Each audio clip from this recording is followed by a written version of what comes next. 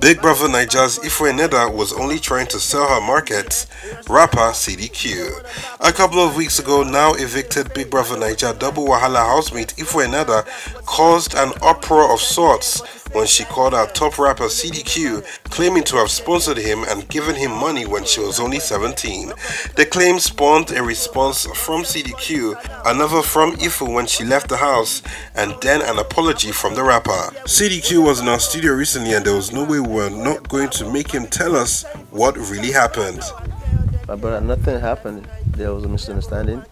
You know, like um, a lot of people actually they always think maybe you can just uh, talk about artists because artists a public figure. They will not say anything back. You get, but in my own case, it's quite different.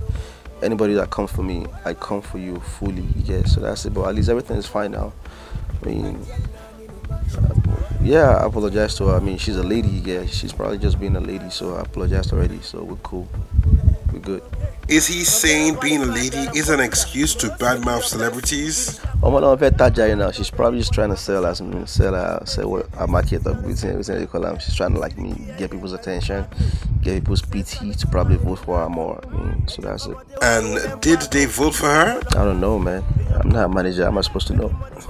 LOL. That was CDQ discussing his ordeal with former Big Brother Naija housemate Ifu. The rapper recently released the new video for Bai, his collaboration with Kiss Daniel. Yeah, yeah, so you sitting at the corner. For sure you know.